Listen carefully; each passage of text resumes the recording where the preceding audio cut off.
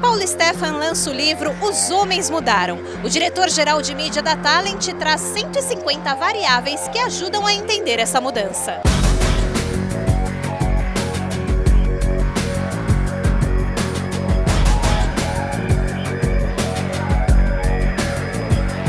Eu faço já uns trabalhos faz tempo na agência, na agência fora assim do, do, do, do dia a dia.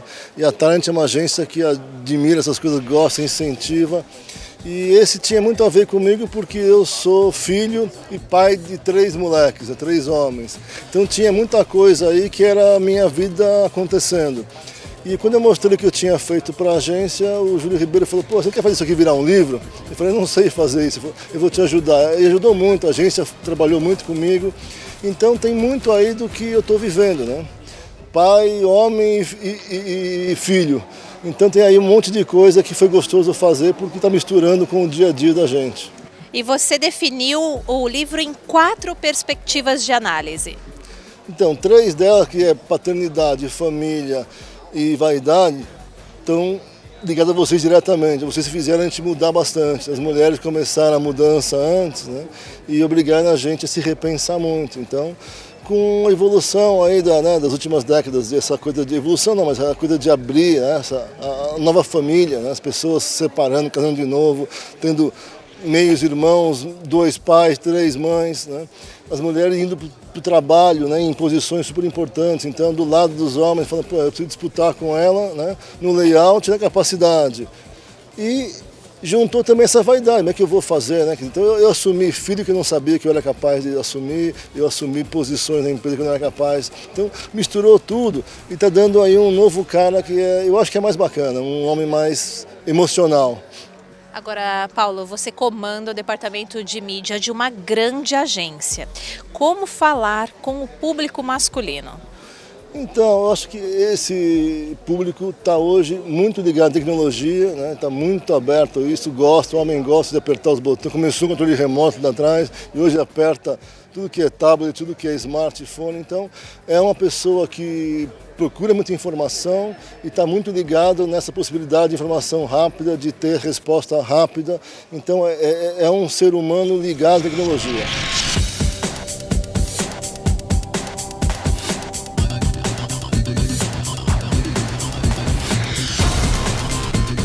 E você, acha que o universo masculino mudou?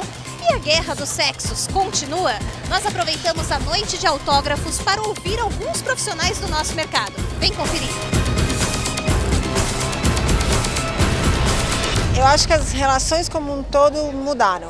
Então a gente hoje vê, principalmente nos modelos familiares, que mudaram muito, então solteiros e solteiras convictas, é, os meus, os seus, os nossos, então separados que se casam novamente, até o famoso double income no kids, e aí acho que vale para heterossexuais e, e, homossexuais também. Então acho que de uma maneira geral as relações mudaram. E acho que todo mundo mudou. Os homens mudaram e as mulheres também. É que acho que no caso dos homens é mais notável e acho que hoje eles se sentem mais à vontade para para transitar em universos que antigamente eram mais restritos às mulheres e tal, e acho que isso é super bem-vindo. E acho que nós a mesma coisa. O homem está sendo muito mais pressionado do que era antes. Então, mesmo que a gente queira, falo aqui em nome da classe, manter o estilo que mantinha, não dá mais. Primeiro aumentou a concorrência, algumas ilegítimas, ou não, depende da, da categoria, né? e está muito difícil, mas a gente tem que se adaptar. Acho que a guerra dos sexos vai continuar sempre, de algum jeito. E com certeza os homens mudaram. Acho que mudaram porque o mundo mudou, acho que a, expectativa que se tem em relação aos homens a outra, a expectativa que eles têm em relação a eles mesmos também. Acho que a, eles, fizer, eles mesmos estão fazendo uma revisão sobre o papel deles né, como homem, como pai, como marido, e eu acho que isso acarretou nessa mudança que a gente vê. E o livro do Paulão conta bastante sobre isso. Você acha que os homens estão mais famílias e preocupados também com a vaidade? Ah, sem dúvida, sem dúvida. Acho que eles estão mais participativos, inclusive, talvez principalmente no, no, na, família, no ambiente familiar, e estão mais vaidosos, sim. Acho que, eu não sei dizer se antes não era vaidade ou se essa vaidade hoje tomou uma forma mais, entre aspas, feminina, né? Mas, sem dúvida, acho que a gente pode dizer que os homens estão mais, mais vaidosos, sim. Olha, há 20 anos atrás, uma psicoterapeuta escreveu um livro chamado O Despertar da Mulher é o Despertar do Homem. A tese dela é que as mulheres iam evoluir tanto, iam ficar, iam ficar tão fortes que o homem ia ter que achar um, um espaço, achar um jeito de atuar no mundo. E foi, ela foi profética, foi exatamente o que aconteceu. É, a mulher fez o homem, a mudança da mulher fez o homem mudar muito.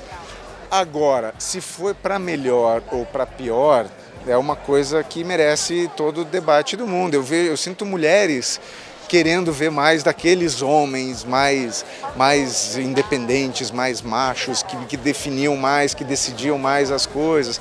E outras não, outras estão muito, confort, muito confortáveis com o status quo. Então, acho que isso é uma relação em eterna evolução e eterna é, mutação. Mas o interessante de ver é isso: as mulheres mudaram os homens, mas elas mesmas estão com saudade dos homens. Eu acredito que teve muita mudança. Acho que teve muita mudança em relação ao à estética, ao cuidado com si, a, a outros valores, outros valores familiares. É, acho que teve muita mudança importante, mas por um outro lado, eu acho que tem muita coisa ainda que eu acho que é da essência do homem, né? Da, é da cultura masculina. Então, por exemplo, tem alguns pontos que a gente percebe aquela história assim de que, ah, que a mulher faz tudo ao mesmo tempo, né? E que consegue resolver mil coisas ao mesmo tempo. Eu acho que tem alguns pontos desses que acho muito difícil o homem chegar nesse, nesse momento. Então, assim, de que de um lado que eles estão ajudando muito no dia a dia das, da, das, da organização familiar, é, eu acho que o carinho com os filhos hoje é muito mais declarado, muito mais explícito, né? Tem alguns tabus que não existem mais. Então, esse lado aí é super importante. Com certeza, isso hoje é muito diferente do que era um tempo atrás. Mas eu acho que aquela história de tipo, da mulher que se vira nos 30, que resolve tudo, que trabalha, que está resolvendo o que está acontecendo com a empregada, e se tudo com o filho está em ordem, eu acho que isso ainda é uma coisa da mulher e que isso podia ser um pouquinho mais dividido. Mas que teve muita evolução, com certeza teve. O homem hoje, quando senta em qualquer lugar, ele olha para o lado e se tiver uma mulher ao lado dele, ele já pensa, onde ela pode ser minha chefe. Então acho que essa foi a primeira, a primeira grande mudança do homem.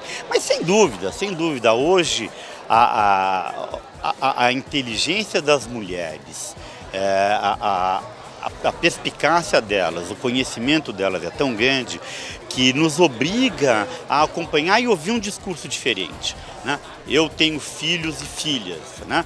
filhas de 27 anos, filho de 24, é, o conhecimento dela, a atitude dela e do meu filho também são tão diferentes e são, são, são tão além do, de, do que a gente pode imaginar que a gente tem que mudar, tem que ficar atento, porque do mesmo jeito que a gente acompanha a juventude hoje, então hoje eu pareço muito mais com meu filho do que meu pai parecia comigo, eu acho que a rapidez para eu ficar para trás dos meus filhos é muito maior também. Então, os homens mudaram e tem que mudar mais ainda.